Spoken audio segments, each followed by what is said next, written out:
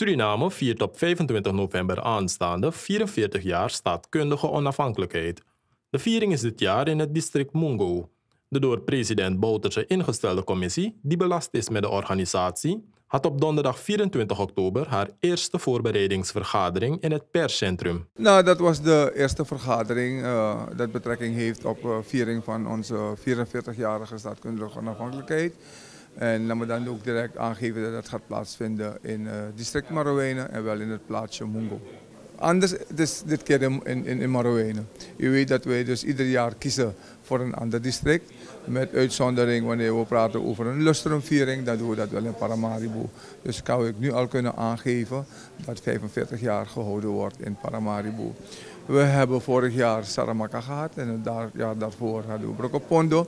Dus we, leven, we zitten nu in Mongo en ik denk dat het voor de mensen van Marowijnen, zoals we nu al de geluiden hebben gekregen vanuit uit het district, die kijken er naar uit om dit mee te maken in, in Marowijnen.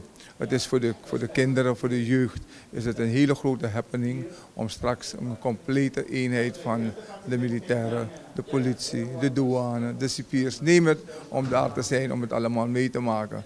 Uh, normaal was het altijd zo dat alles gebeurde in Paramaribo, maar we hebben dus wel gekozen, deze regering, om ook de districten te bezoeken. En dat maakt het verschil uit. Ik wil een beroep doen op de mensen van Marowijnen, omdat wij al maanden bezig zijn en het gaat de goede richting op om Mungo schoon te houden.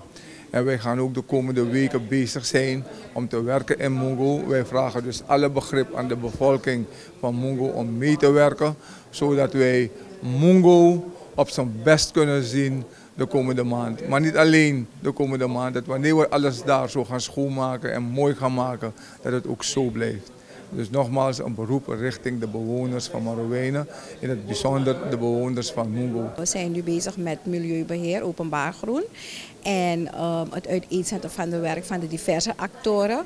Daarvoor was deze meeting bedoeld vandaag. En iedereen weet wat ze moeten doen.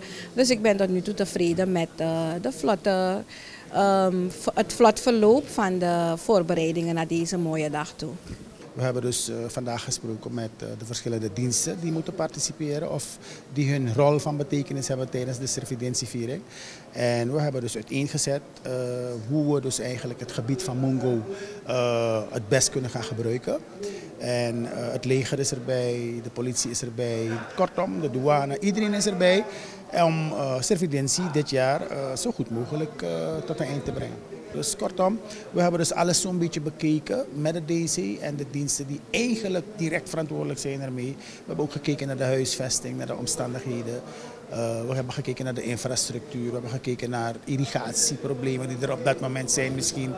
Misschien moet je een boom verwijderen als het noodzakelijk is. Eh, als een goot verstopt is daar, moet je dus alles zo'n beetje gaan mooi maken. Als het terrein uh, geschikt is voor de parade, moet je gaan kijken, moet je hem gaan opvullen, moet je hem gaan egaliseren. Dus kortom, we zijn van tevoren begonnen en ik moet zeggen dat we redelijk op schema zijn.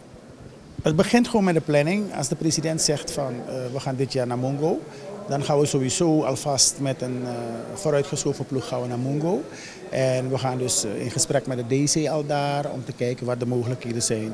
Het leger komt uh, met hun personeel en die bekijkt, want 25 november is eigenlijk een legerdag. Hè. Het leger die vult hem allemaal zo'n beetje in, gewoon gedurende die dag. En die gaan dus naar de situatie kijken te Mongo.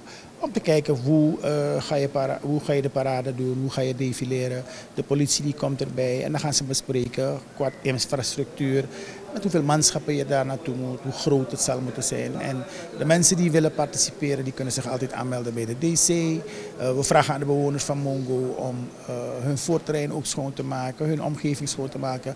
Je krijgt een heleboel gasten daar naartoe. Heel het land bijna komt daar naartoe. Je hebt mensen vanuit de Franse kant die daar naartoe komen. Je hebt mensen vanuit Europa die daar. Er zijn mensen die speciaal uit Europa ook komen om 25 november mee te maken. Dus we vragen aan de gemeenschap van Marowijnen, hou Marowijnen schoon maak hem schoon. Want dat tekens visite, a visite moest kunnen krimpressie. Dat is mijn boodschap.